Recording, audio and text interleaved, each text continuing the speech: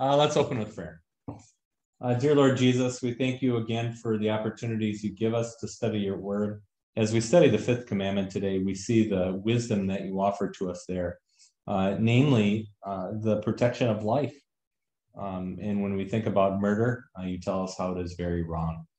Uh, continue to be with us to help us keep the fifth commandment and to help our neighbor to the best of our God given ability. We ask it in Jesus' name. Amen. Okay, uh, let's take a look. What is the definition of a table? But before we do that, first question. I know it kind of might seem awkward. Uh, let's read through the fifth commandment. Um, you shall not murder. What does this mean? We should fear and love God that we do not hurt or harm our neighbor in his body, but help and befriend him in every bodily need. If you were to say, our nation needs a lot of this, do you think it would be more of keeping the fifth commandment? Do you think that would rank at the top of all the commandments? You mean what our what our nation needs? Needs right more of right now. Do not hurt or harm your neighbor. Well, we're a very polarized nation, so I guess it would fit with that. Yeah. Uh, and Eighth I think, commandment too. yep, absolutely. Fifth commandment, eighth commandment. there are a lot of them. Um, you know, God has these here for a blessing. So how can we keep our neighbor um, and protect him from bodily harm? And our neighbor isn't just the person that lives next to us or the house next to us. Uh, when this question was asked of Jesus, you know, who is my neighbor? Um, who did he identify? Uh, everyone, right? Think of everyone as your neighbor. And yeah, all humankind. Uh, even my enemies, Lord, uh, he was asked at another time, yes, pray even for your enemies and pray for those who persecute you. Okay. Uh, so, very first question um, What is the definition of a table?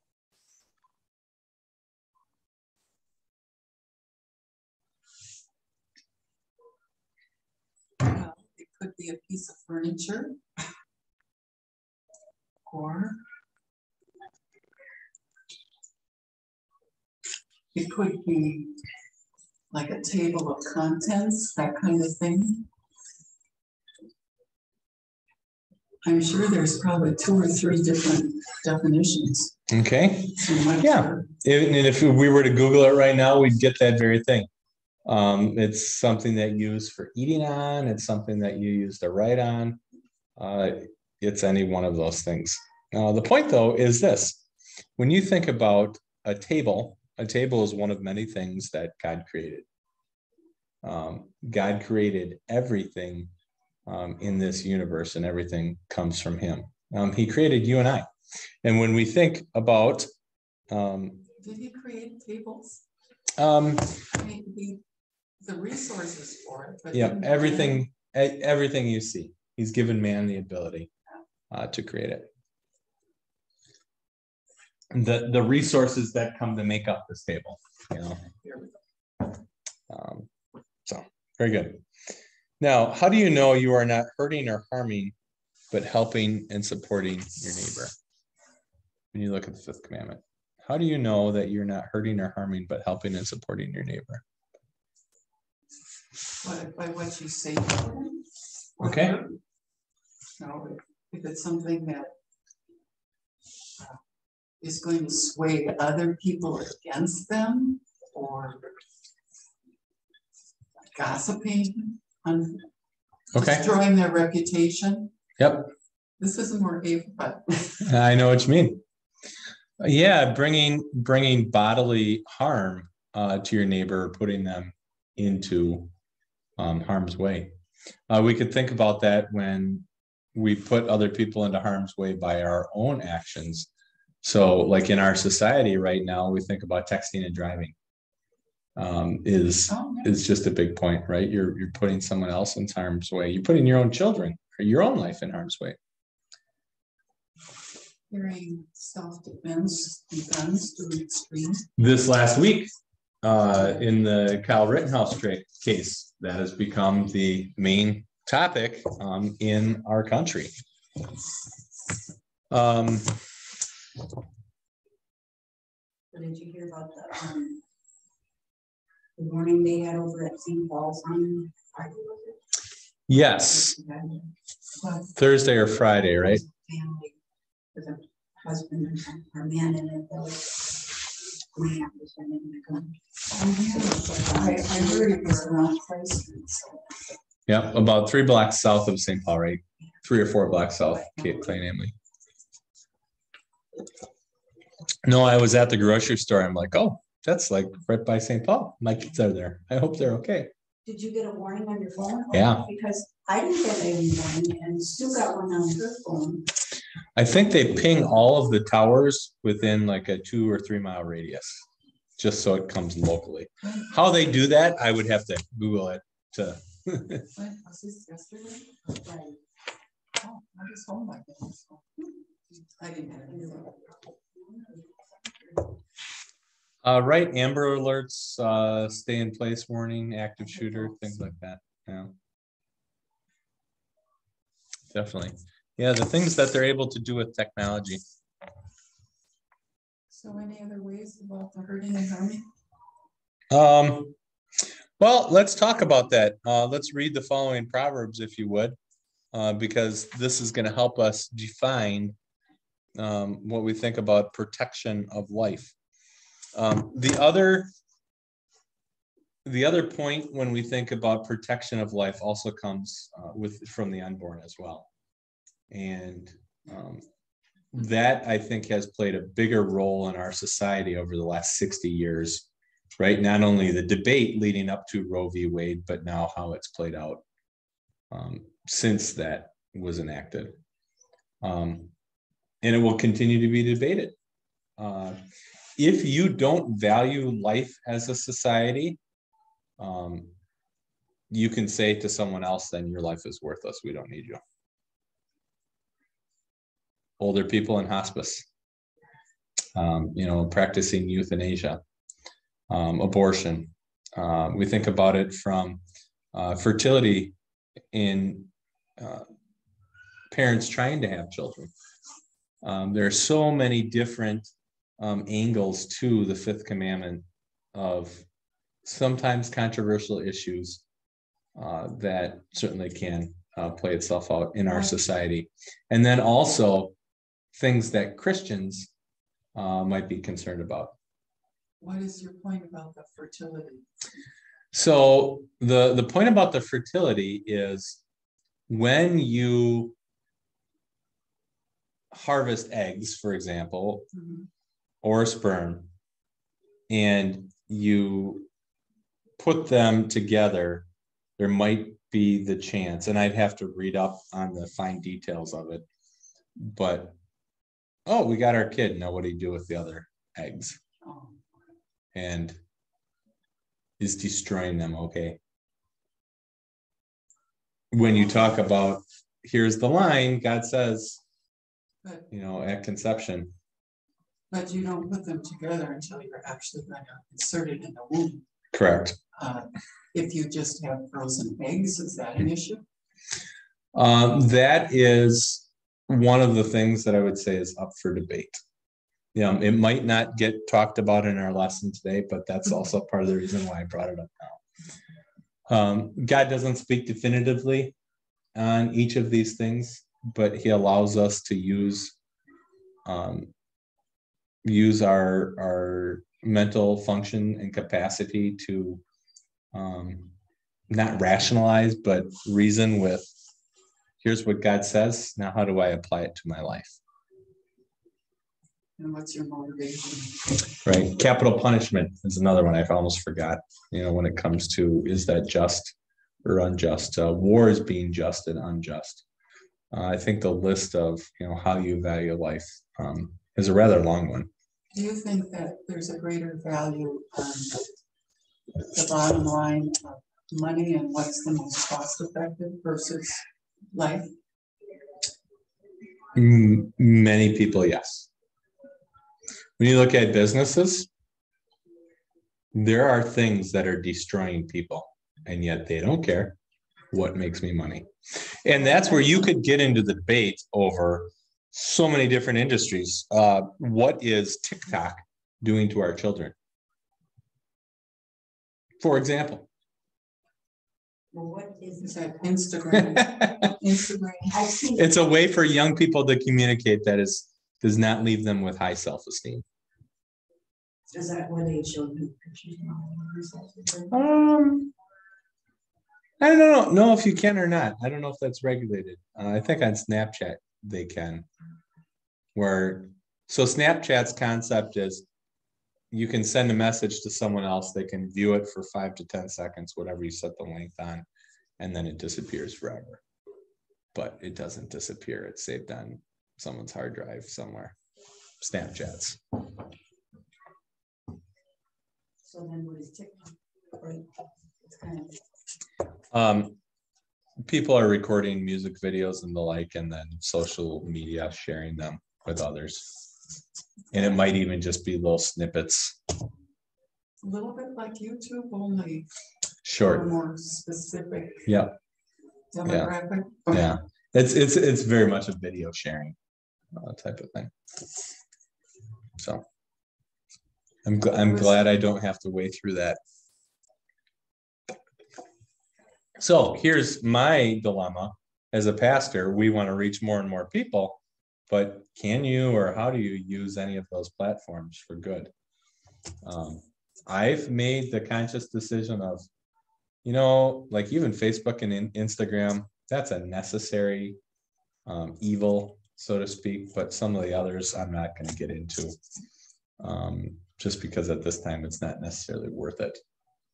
Um, we can reach people in other ways and still be just as effective. Right? Think if TikTok had more Jesus or Snapchat had more, that would be a good thing.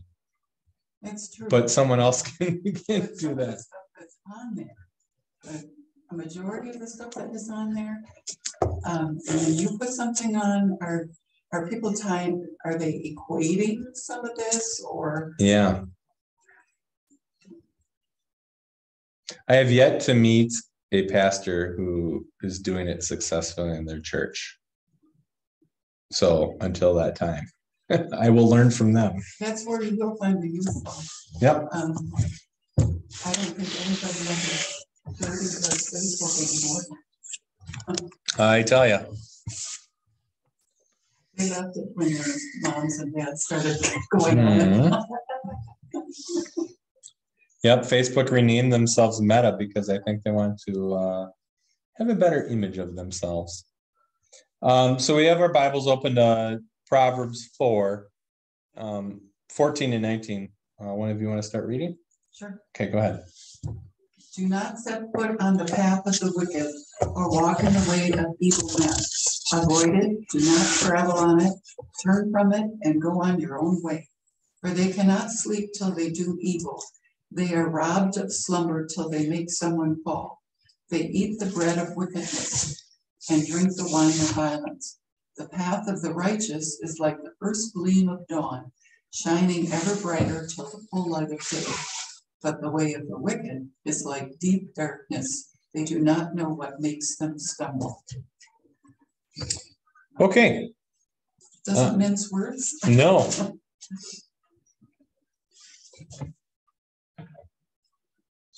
Uh, Psalm 1 says, Blessed is the one who meditates on God's word day and night.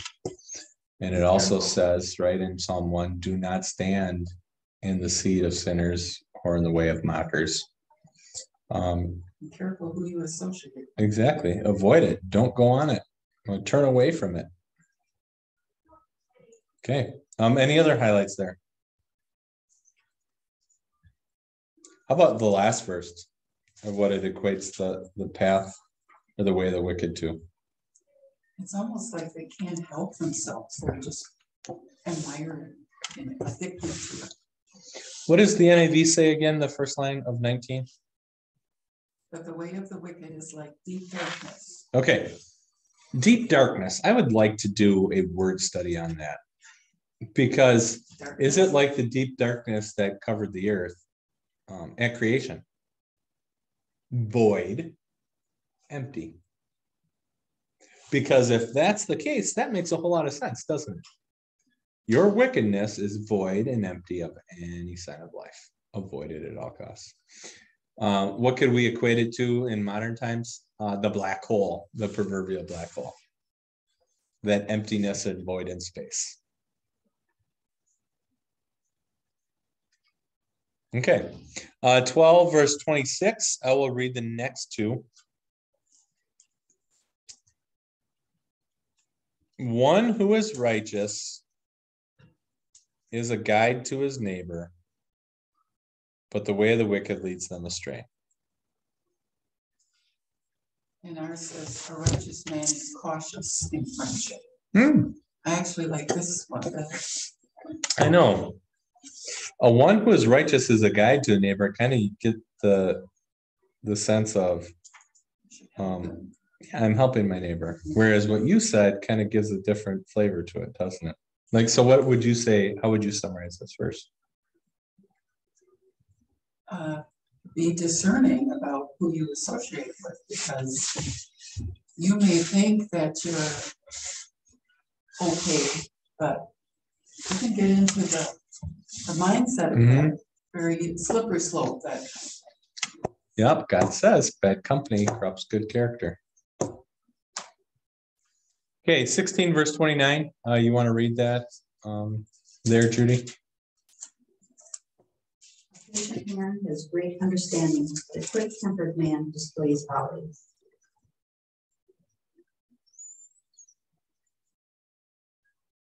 What is sixteen twenty-nine? Yeah, is that 1629? I have something a little bit different. Man. Oh, I mean, what, okay. Yeah, that was very close. So I'm like, yeah, maybe that's a different translation. We, we have two different LIDs here. Mhm. Okay, sixteen twenty-nine. A violent man entices his neighbor and leads him down a path that is not good. That sounds pretty. Yeah, exactly. Is that spot on though? Leads him in a way that is not good.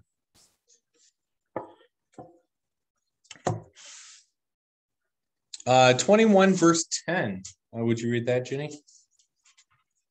As soon as I find it, man, twenty-one. The wicked man craves evil, his neighbor gets no mercy from him.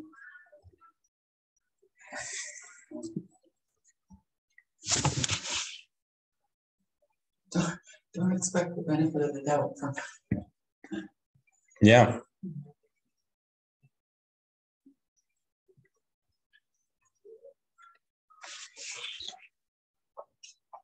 How about 28 verse 28? Let's read that one.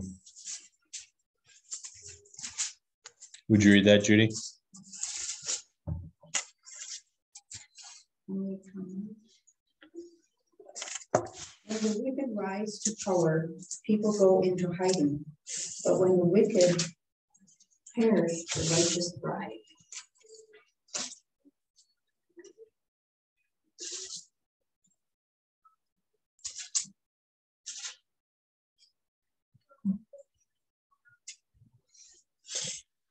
How has God done away with wickedness in the past?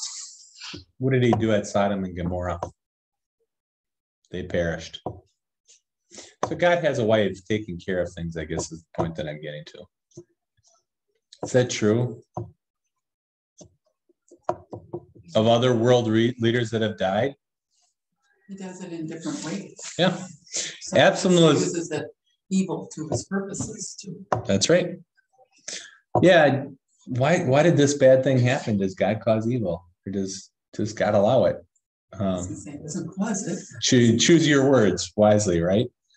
Um, but God is going to take, he doesn't cause it, but he's going to take this evil thing or wicked thing and he's going to work it out for his good. Um, and for our good too.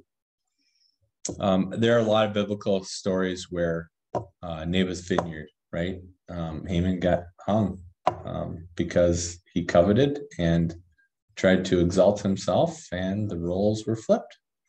Um, Absalom led a rebellion against King David. Um, that didn't work out so well for Absalom. Again, uh, the wicked, in the end, uh, will perish.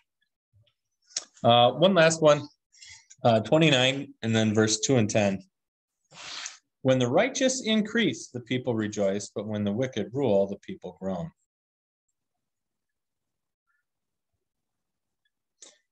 Do you like our president, our leadership, or not? Has been the question, right?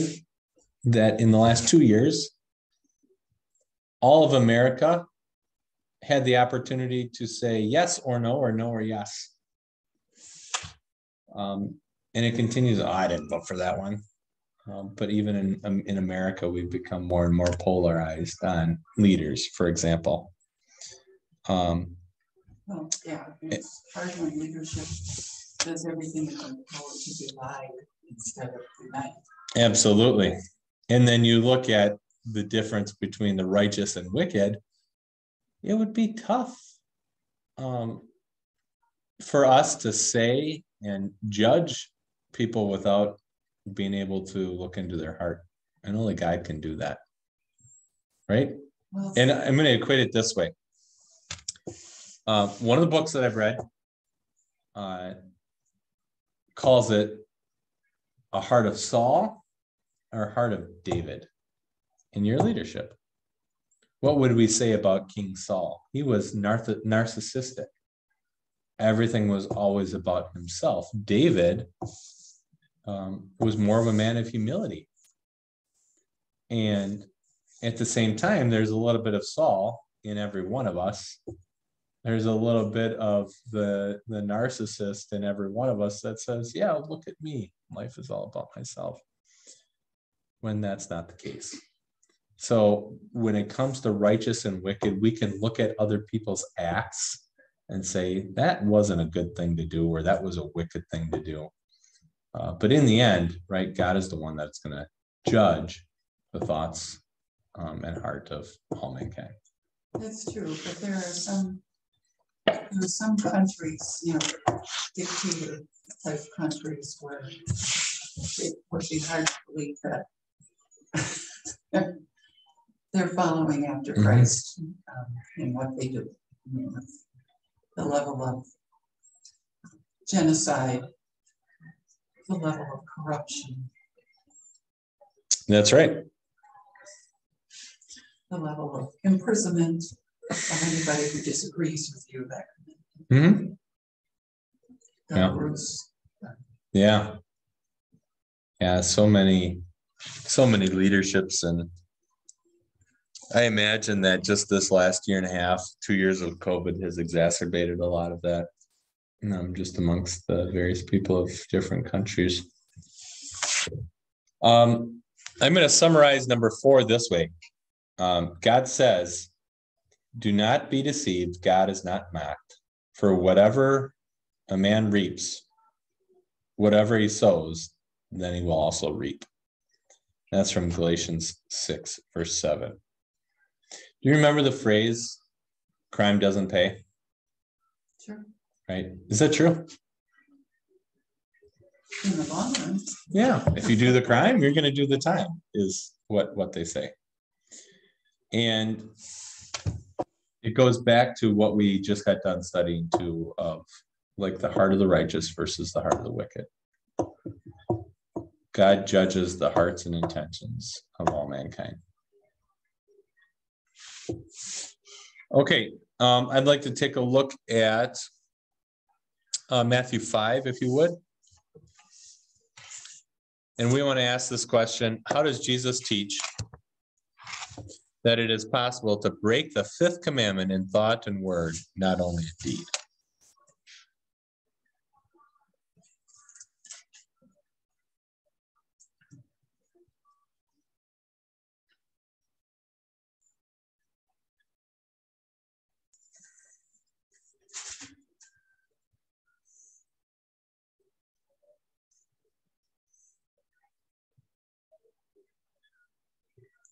Gotta pull that up here.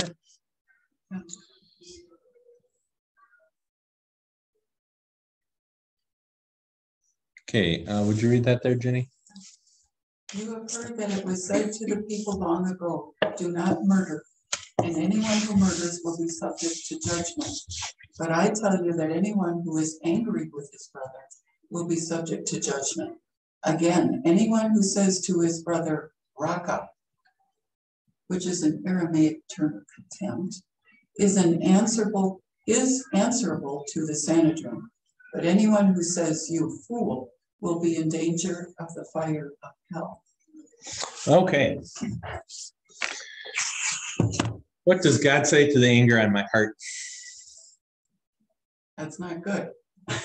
That's bad. You'll be subject to what? The fire of hell. And judgment. Yeah. Judgment, than the fire of hell, or vice versa. If you think about it, it's bad. Um, Oh, I'm so glad he died for my sin. I know. I think about when I think about the fifth commandment and I think about not only the deed or the action, which so many do. Well, I haven't murdered anyone. Um, that's so not true. Have you had an angry thought towards your brother, sister in Christ, or even your enemy or someone that you don't particularly like? Right? God equates that, and as Jesus says here, God equates that to murder. Not anger, but just making preconceived judgments about people. Yep. You know, you're just basing it on, on something other than what maybe truth or factual, Mm-hmm. the way they look or the way they project. Mm-hmm. Yes. It's not fair. No. Okay. Um. Any other questions regarding what we've studied here on the first page? I'd like you to do one last thing. Uh, take a look at Romans twelve. And I see that I missed something. I didn't, I must have had it on the wrong page when I hit print. That's okay.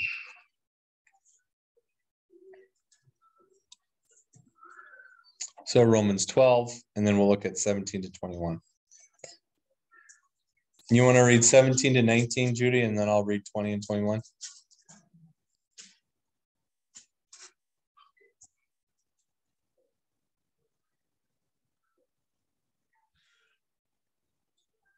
Some of the branches have been broken off. I don't think that's it. Uh, Romans twelve, That's, I'm ahead of myself. okay, uh, verse seventeen. Romans twelve, okay. I see the twelve. there, but I didn't- Seventeen. Do not repay anyone evil for evil. Be careful to do what is right in the eyes of God. If it is possible, as far as it depends on you, live at peace with everyone. Do not take revenge, my friends, but leave room for God's wrath. For it is written, it is mine to avenge, I will repay, says the Lord. On the contrary, if your enemy is hungry, feed him. If he's thirsty, give him something to drink.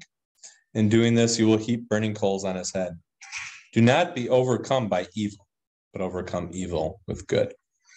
What does it mean to heap hot coals on your enemy's head?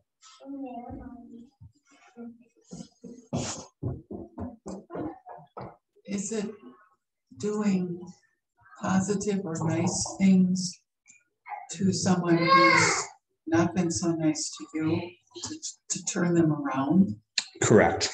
out of embarrassment or shame or? Why is he being so nice to me? Yeah. Um, I sit by a campfire and I look at hot coals and I think, "Ooh, it's like burning hot coals on someone's head when I'm nice and kind. Yeah, it is. Here's a, here's a more subtle question. Mhm. When it says, do not take revenge, my friends. What about enjoying TV shows that are, their whole theme is about revenge? It's like someone who has been misjudged or mistreated. and um, They, over time, they plot to get back at that other person. Yeah. Um, isn't that a little bit, Satisfaction when the bad guy gets it. isn't that a little bit hypocritical of us? To let the bad guy get it? In, in that sense. Sure, absolutely. But there needs to be a villain, Yeah. even in Disney movies. Yeah, Gaston, the beast couldn't be the villain, right? Gaston had to be. Yeah. Uh, any other thoughts? Um, taking your neighbor's words and actions and keeping the eighth commandment, I think, is the precursor to keeping the fifth commandment. Best possible way. If you take your neighbor's words and actions in the kindest possible way, you're going to do well in keeping the fifth one. And listening. Mm-hmm. Mm-hmm. Yeah. Definitely.